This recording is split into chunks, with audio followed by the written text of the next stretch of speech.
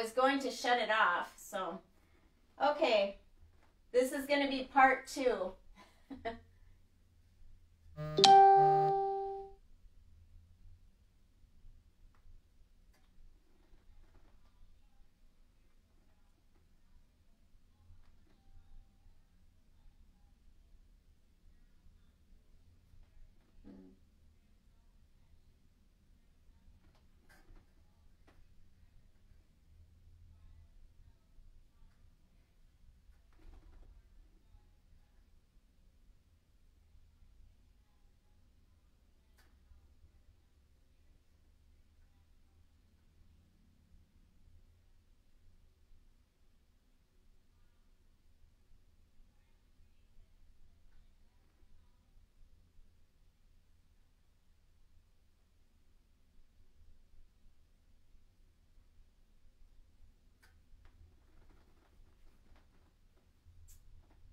Okay, so I'm just going to take off from there.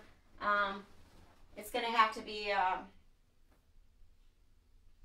two videos today. So I'm just going to take off from there. Um, it's going to have to be. Uh,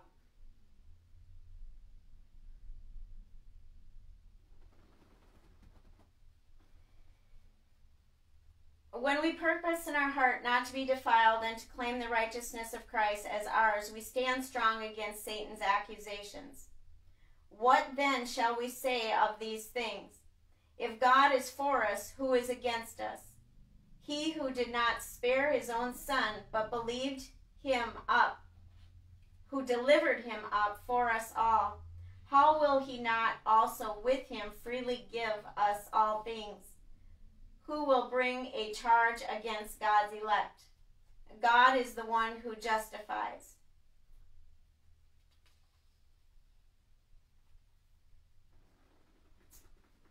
Um,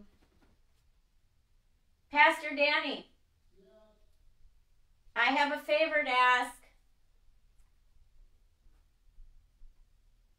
What could it be? Just go to Thy Kingdom Come World Ministries and um, share this next video that I'm working on, if you would. I don't know how. Okay. That's okay. Yeah. So I'll do it. I'll do it. Go to Thy Kingdom Come. I'll do it later. Thank you. Yeah.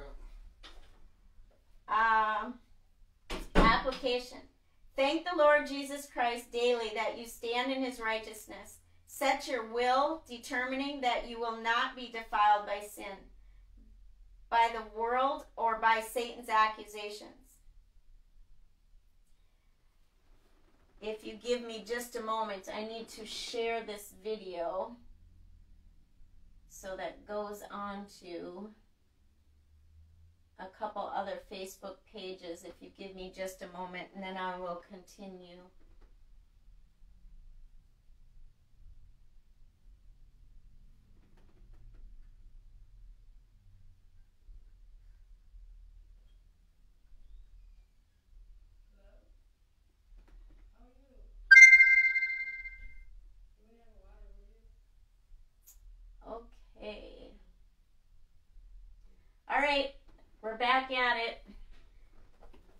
My phone rang and I was trying to shut it off, and um, my first video shut down. So uh, next time, I guess I'll just let it ring. So we are on spiritual warfare. We are on the armor of God. We are on number three, and that is the gospel of peace. I think we might have somebody here. Hello, Mississippi. Hi, Hi, how are you doing? I'm doing okay. How Have a seat. I'm doing good. Mhm. I'm doing spiritual warfare, so you can sit and join. It's good to see you. Kind of high right now. I don't want to do that. Okay. Well, you say- just you I just just want to say hi and get get some water. okay. I don't get paid till tomorrow. So. Okay. Well, you can sit and listen, and whenever you um are ready to go, just take off. Okay. It's good to see you, though. Good to see you too. Okay. Um, I'm just going to say a quick prayer for Mississippi. Father God, thank you for bringing Mississippi in the house today. Lord, we just ask that you bless her, bless her abundantly, bless her in her coming, bless her in her going. And um, Lord, just um, again, I just pray that you open her eyes, ears, and heart to know who you are. And um, just thank you for what you're doing in her life and that you protect her and guide her and, and love her and comfort her in Jesus' mighty name. So, okay. I'm going to keep doing what I'm doing here. Okay. You can hang I'm, out or I'm to go smoke my cigarette then. I haven't smoked in like three hours. Okay. Have a good day. You too. I love you. I love you too. Okay. See you later. See you later. Bye. Whoa, the floor's kind of. Yeah, I know.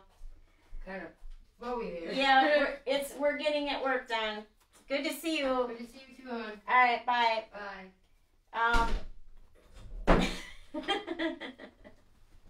we're gonna keep moving. I'm not missing a beat. I'm gonna just keep putting one foot in front of the other. This is this is spiritual warfare 101. This is spiritual warfare real time. Um, the devil would like to come against anything and everything that's spoken out here. He doesn't like the word to go out. He doesn't like the truth to go out. He doesn't like people to raise up. He doesn't like us to be victorious.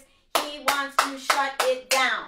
And so he's going to use he's going to use phone calls. He's going to use whatever. And um, so, anyways, we're going to just keep it moving and thank God for what He's doing and that we are victorious in all things. All right. Uh, for those who have the book, back to the book, we're on page 22 and um, pay, or, um, number 3. And the number 3 is the gospel of peace. This is the third piece of armor we're talking about. Having shod your feet with the preparation of the gospel of peace, on your feet, the readiness that comes from the gospel of peace. Your feet must be positioned in battle formation. The Roman sandals were leather thongs with spikes on the bottom for flexibility, mobility, and firm grip to hold a position while engaging the enemy. Warfare principle never back down once you have engaged the enemy. Hold your declared position. So those those those sandals had spikes in them and they gave them a good grip. And the gospel of peace gives us a good, firm stand. And um, and when you engage the enemy, you never you never back down. You never stop. And it's it's much easier for people to understand that if you're on a battleground and and your you shots are being fired at you, you would not turn around and run away. You would keep and you would keep facing the enemy. You would keep standing your ground. It's the same way spiritually. When the devil comes at, at us with his fiery darts, we keep the shield of faith up there. We stand firm with our shoes, our gospel of peace. We do not back down. We do not run away. So, um, readiness or preparation is the place we come to when we understand the full significance of the gospel of peace which reconciled us to God and our fellow men.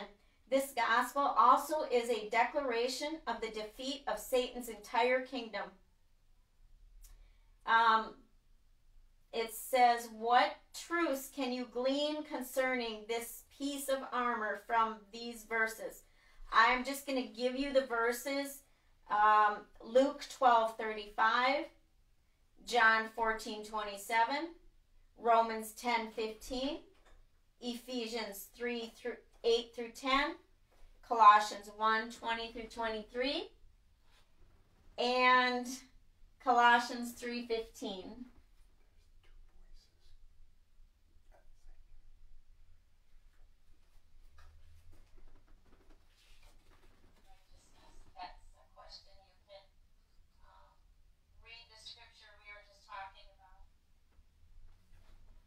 So, um, hello, Bambi.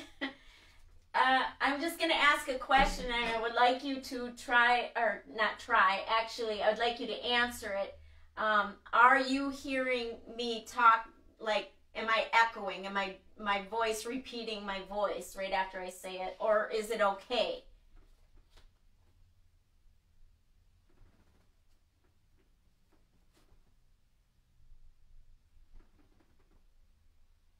No weapon formed against me will prosper. No weapon formed against this word will prosper. So it's repeating itself. Oh my. Okay. Oh, it's fine. Okay, now it's fine. Okay, good. All right, I'm just going to keep going.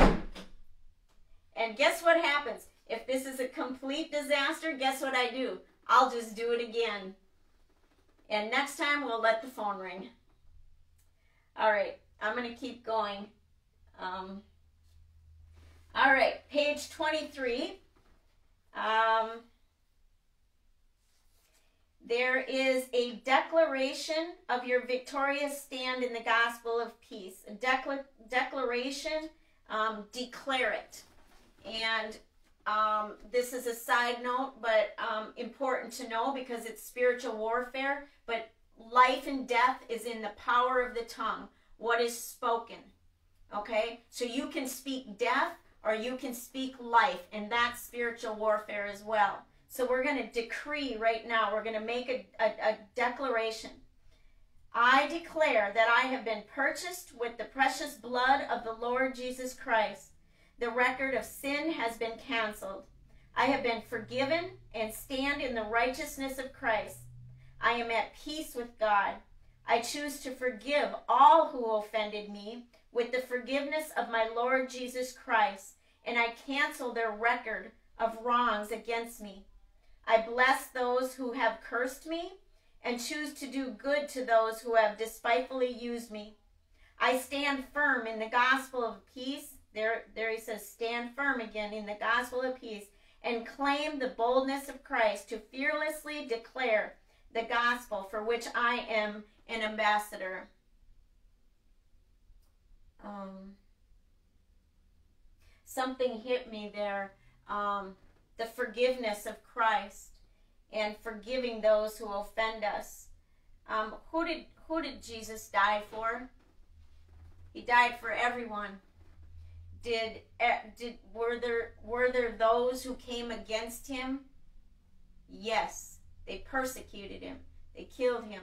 Did he die for them? Yes, he did. Forgiveness is spiritual warfare. To not hold offense. To not hold yourself in bondage with bitterness. It sets you free when you forgive. That's a side note, but it's spiritual warfare.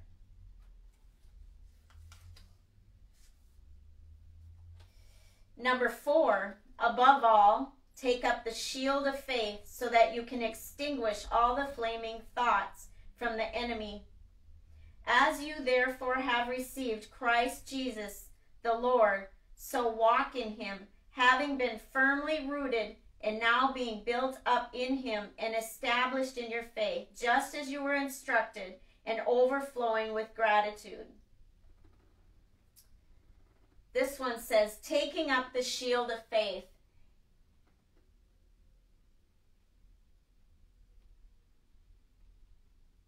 Okay, thank you, Bambi. It says silence my phone during. Yes, okay. I'm working out the kinks, okay? so I wanted to use my computer as my um, what I uh, record with, but that didn't pick up the um, the videos, the the worship music. So then I started using my phone again because that worked well when um, Pastor Danny was doing spiritual warfare.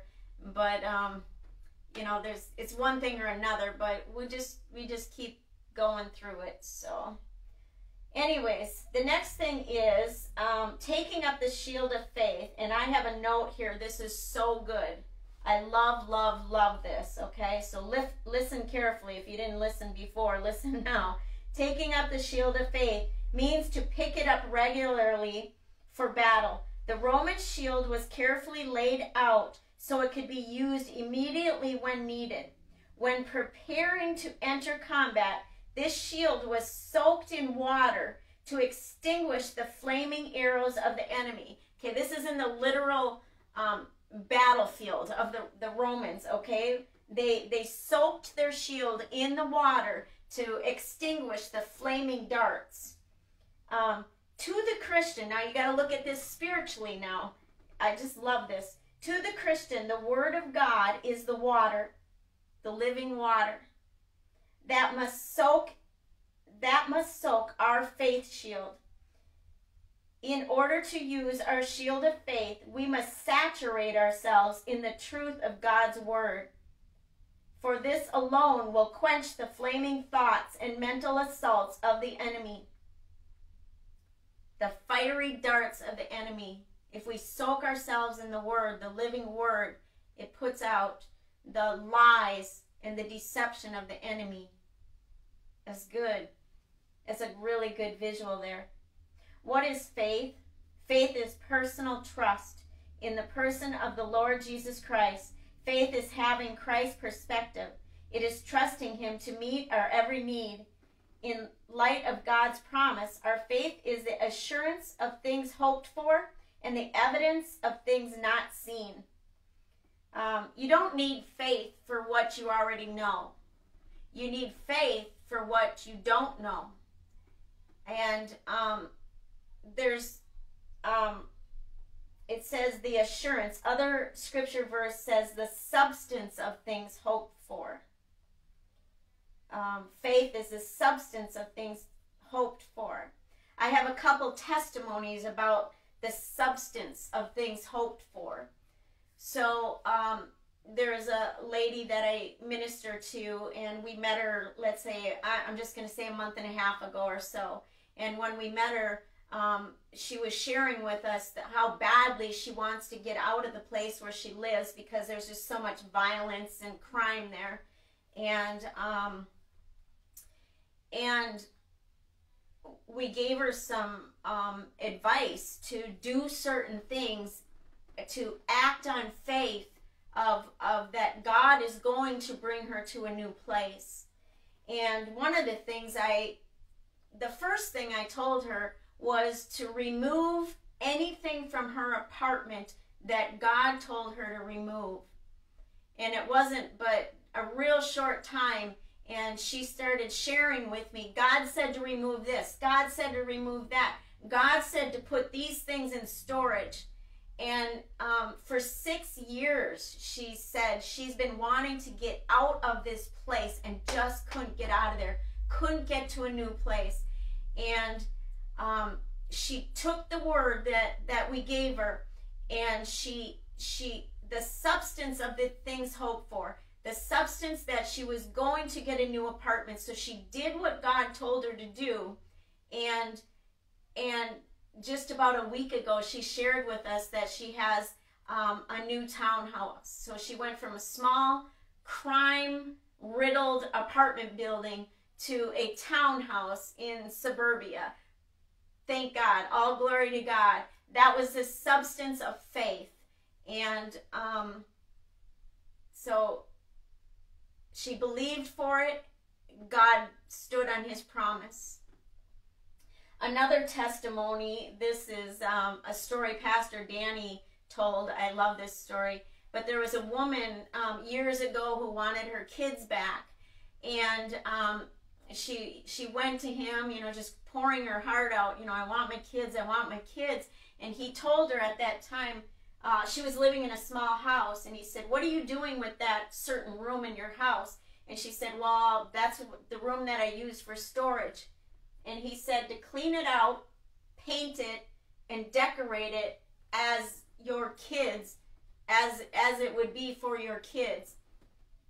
And um, she came back again, and she was, you know, I don't know how much longer later, but she came back again. She was crying, crying again. You know, I still don't have my kids back. And Pastor Danny asked her, "Did you do what I told you?" And she said, "No, I didn't do what I told you." He says, "Do what I told you." So she went back and she um, she she painted the room, she decorated the room for her boys, and um, a short period of time after that, she got a call, and her children were returned to her.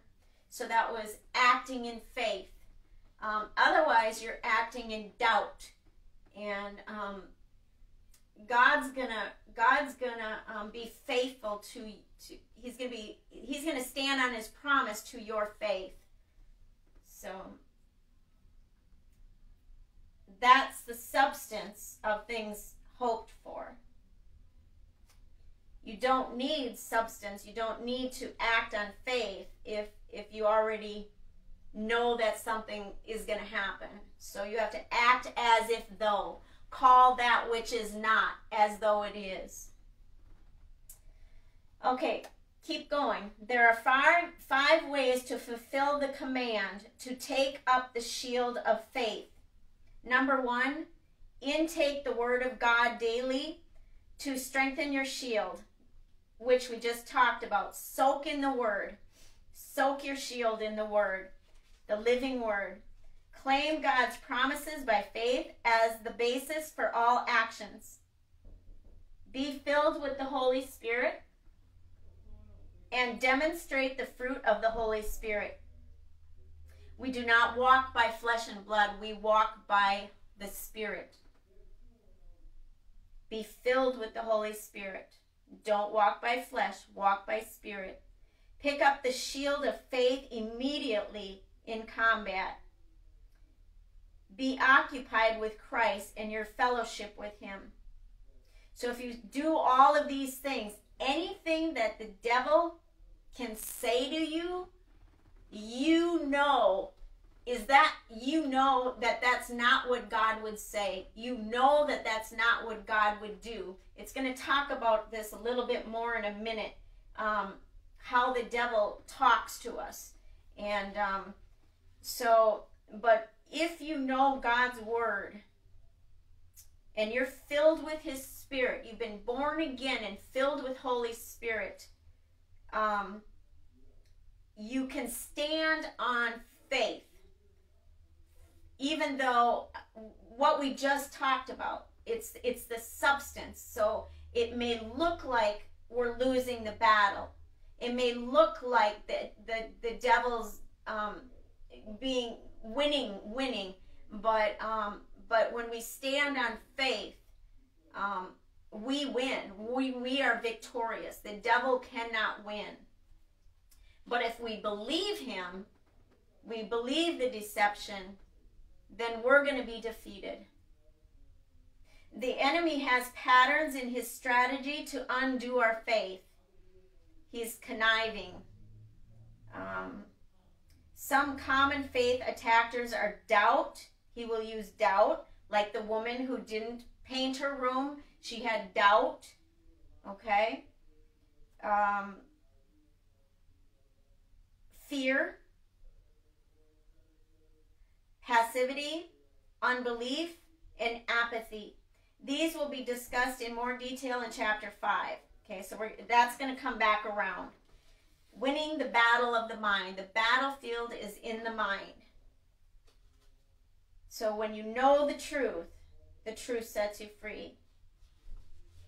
Um, take the helmet of salvation. Since Christ is head over all things of the church, he is our head. The helmet of salvation represents our position of victory, having received our deliverance from the kingdom of darkness and our permanent position as God's child, as a child of God. The Roman helmet was crested in a stunning red to identify him. If you remember the Romans' helmets, they had this big red kind of like a rooster thing up here, and that was to identify the Romans. Um,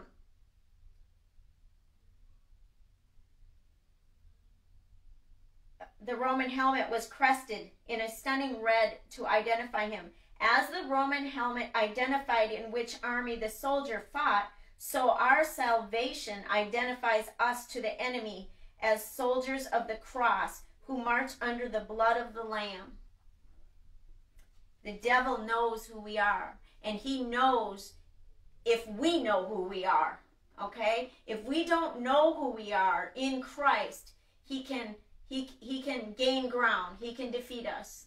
Okay? So when you stand like a Roman soldier with that big red um what's there's a word I'm looking for. I can't think of it right now. But um you know, when you stand with that um, knowing who you are, he can't come against that. For he delivered us from the domain of darkness and transferred us to the kingdom of his beloved Son.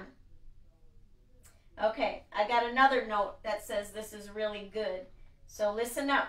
The mind of man is the battlefield where Satan and his evil spirits contend against the truth by injecting thoughts, suggestions, false reasoning, speculations, distortion, and evil imaginations. The enemy fortresses that dwelt in the mind were destroyed and vacated at deliverance. At deliverance means uh, when Jesus died on the cross and when we grabbed um, salvation, um, when we were saved by grace through faith, when we grabbed that deliverance by faith. Um, the enemy fortresses that dwelt in the mind were destroyed and vacated at deliverance, but now the mind must be restored to the excellent state God intended by rebuilding it with God's truth. So, when we were born again, when we were saved, we were delivered. But now it's a process. It's a process. It, uh, there's scripture that talks about this that we're working out our salvation. We are we go from glory to glory. He renews our mind. So we were walking one way and we were doing one thing and then we turned and we were we were born again. Now we're a new creation and um and our salvation is going to be worked out. And um but the moment we were born again, we were given this armor, this, this all power and all authority. And now we're working it out. Um, okay. Um, for though we walk, let me see what, what time is it? Okay. Um, we had some distractions today, so I want to get through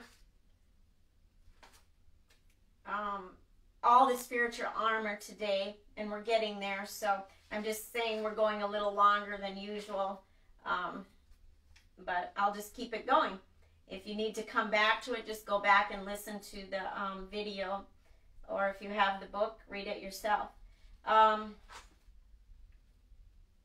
so the mind of the mind of the man is the battlefield. The battlefield is in here.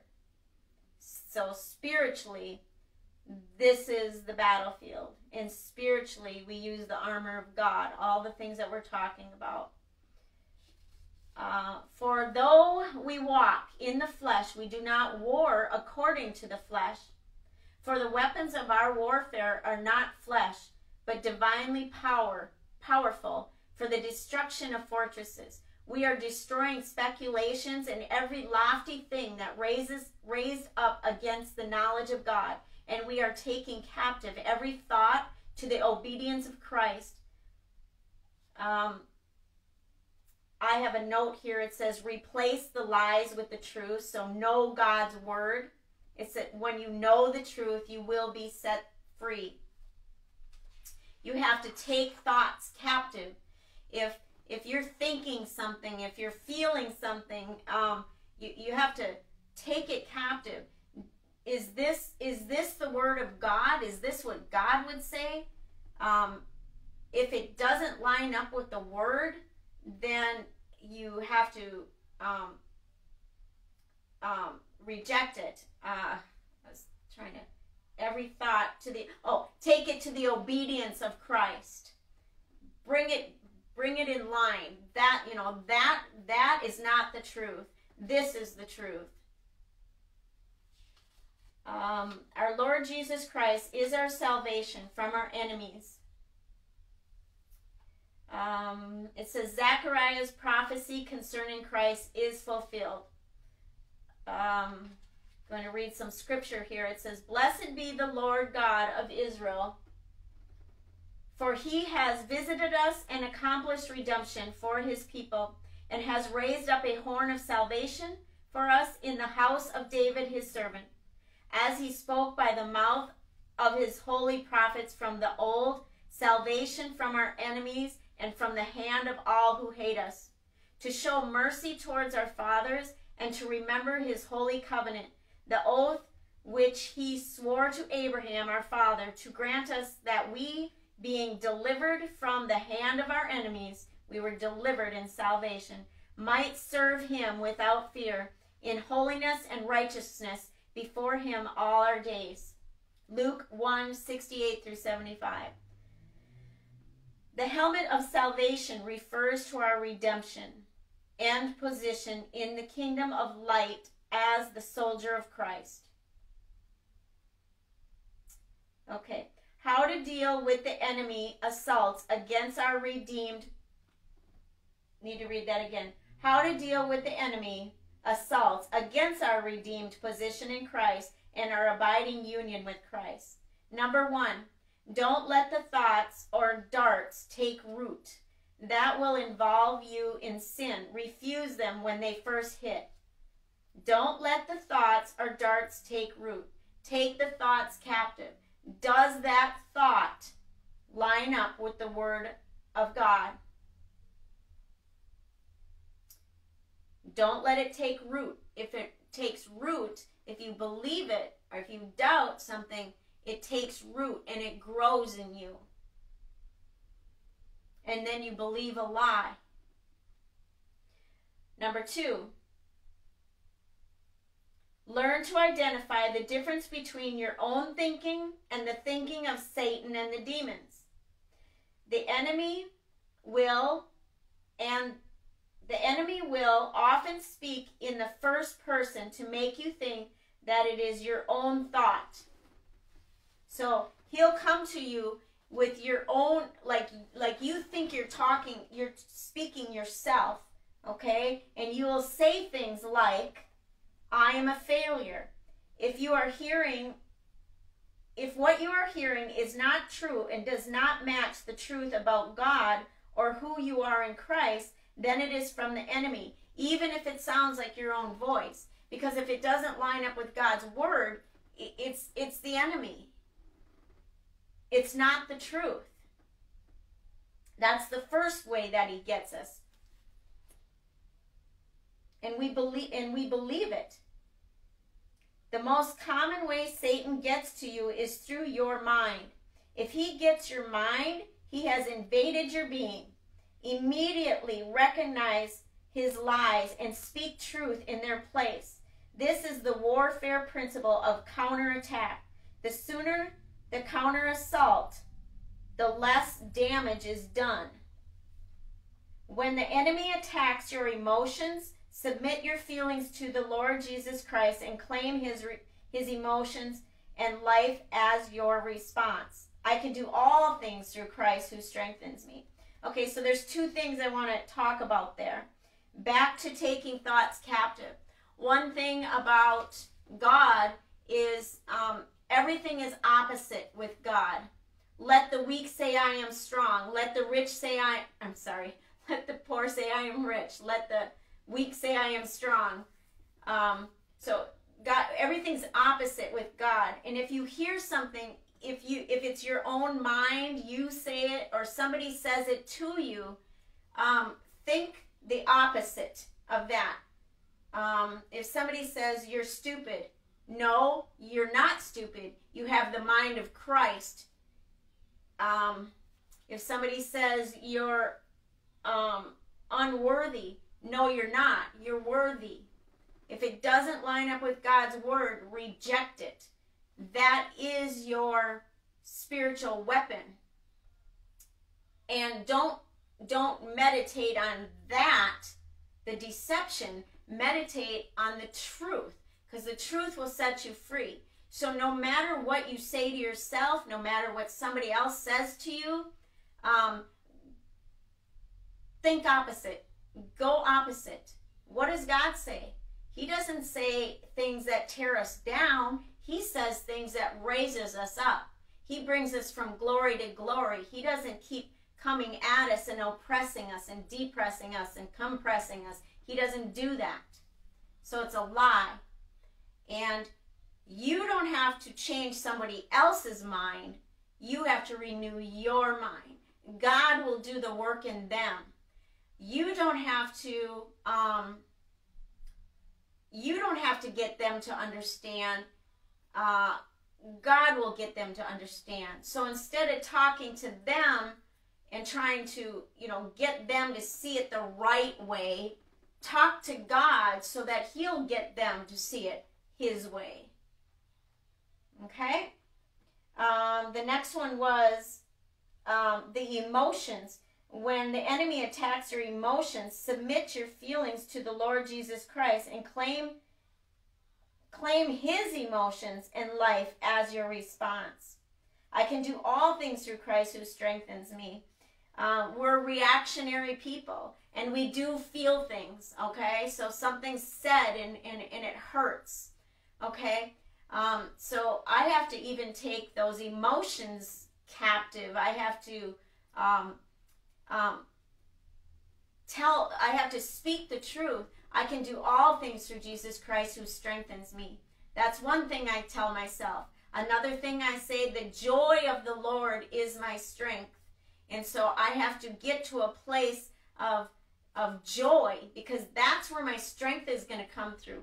That's where my testimony is going to come through. And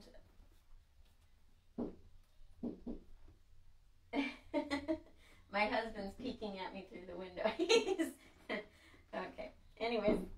Okay, I love you, honey. Kisses. um, I can do all things through Christ who strengthens me. Okay, we're gonna we're coming to the end here. Take the sword of the Spirit. This is the last one. Take the sword of the Spirit, which is the word of God. We use the offensive weapon of the spoken word of God. Notice that it says offensive. Who is it offensive to?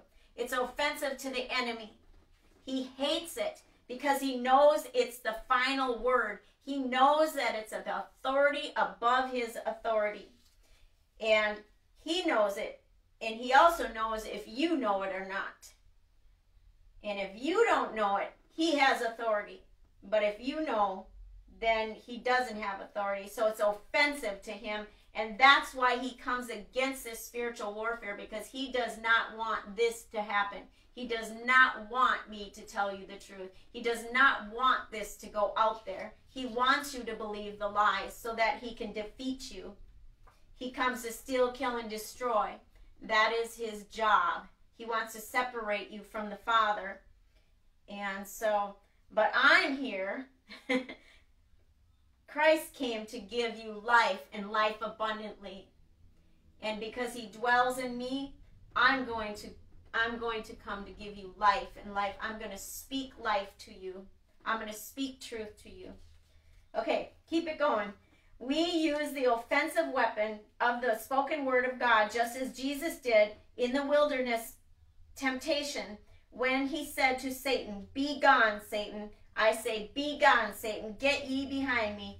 For it is written, You shall worship the Lord your God and serve him only. Then the devil left him because the devil knows he has to. He knows the authority above him.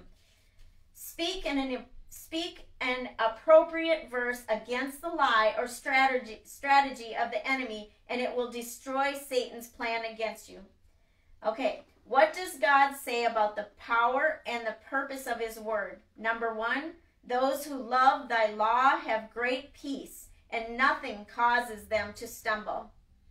Um, great peace. People think that peace is something that they achieve. Okay? Um, the truth is, peace isn't a thing. Peace is a person. He's the Prince of Peace. And so when when he resides, when he dwells in you, you have peace that surpasses human understanding. It's not a, a, a something that you've achieved by just acting or doing a certain thing. That's not peace. Peace is the Prince of Peace. Number two, 2 Timothy 2.15 challenges us to handle the Word of God accurately and appropriately. Be diligent to present yourself approved to God as the workman who does not need to be ashamed handling accurately the Word or the truth. Show yourself approved. Know the Word of God. When you know the Word of God, the devil cannot come against it when you know Him, when you know the spoken word, and when you know the um, the relationship, the the word when you know Jesus Christ. Number three, the power of God's word is pointed out very graphically in Hebrews 4:12. For the word of God is is living and active and sharper than any two-edged sword and piercing as far as the division of the soul and spirit of both joints and marrow and able to judge the thoughts and intentions of the heart. The Roman sword was known all over the world as double edged, extremely sharp, and a weapon to be greatly feared. It never left the side of the Roman soldier by day or by night. It was his primary offensive weapon. Um, so likewise, be we must know our weapon by reading and meditating on it day and night when wrestling against Satan and his army. Only skillful use of the word of God will suffice to defeat him. Satan trembles at God's word. He knows that it is the weapon that will cause him to flee. Yes, dear?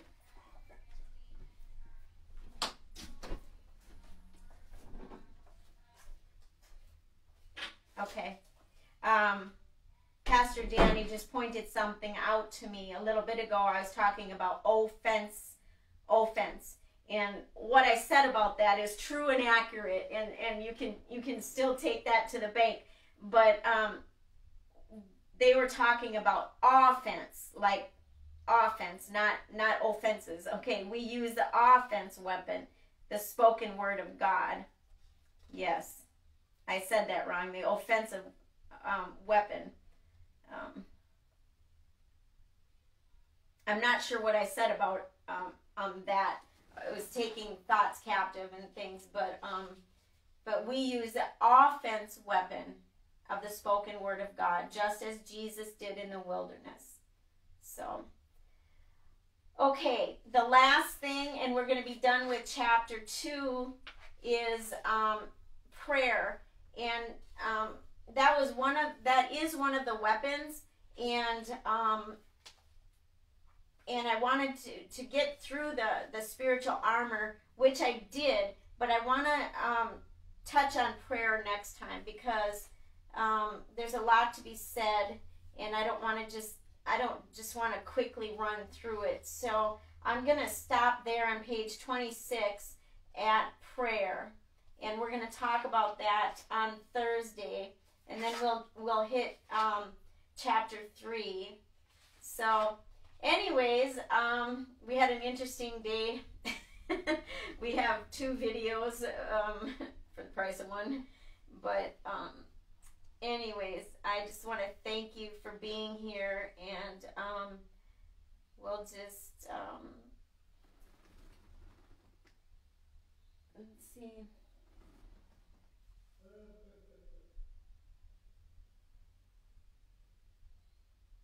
Make sure there's nothing else. Oh, if um, if anybody wants to sew into the ministry, we have um, PayPal and we have Cash App, and if um, you want to do that, um, just reach out to me and I will get a link to you. So, anyways, our Father who art in heaven, hallowed be thy name. Thy kingdom come, thy will be done, on earth as it is in heaven. Give us this day our daily bread and forgive our trespasses as we forgive those who trespass against us. Lead us not into temptation, but deliver us from evil. For thine is the kingdom and the power and the glory forever and ever and ever and ever and ever and ever and ever. Amen. Thanks for joining. See you on Thursday. Bye.